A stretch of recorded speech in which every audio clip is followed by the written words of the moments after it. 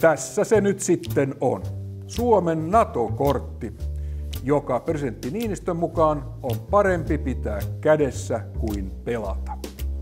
Suomi vastaa itse omasta puolustuksestaan, vaikkakin tekee siinä yhteistyötä muiden kanssa. Presidentti Niinistö sanoi maanpuolustuskurssin avajaisissa tärkeän periaatteen.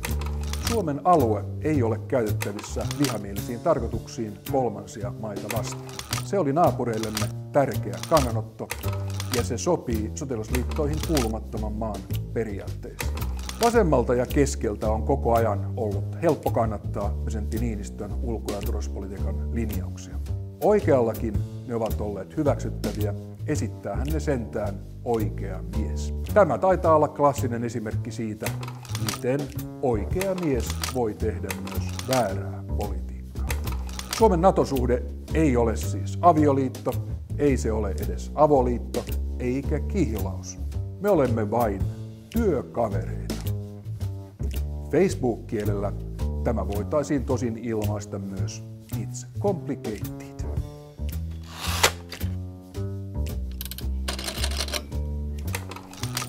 Viikon twiitti tulee Iltasanomien politiikan erikoistoimittaja Timo Haapalalta. Kun yhdistää väestöennusteen ja Sitran raportin, Suomessa on kohta enemmän sähköautoja kuin asukkaita.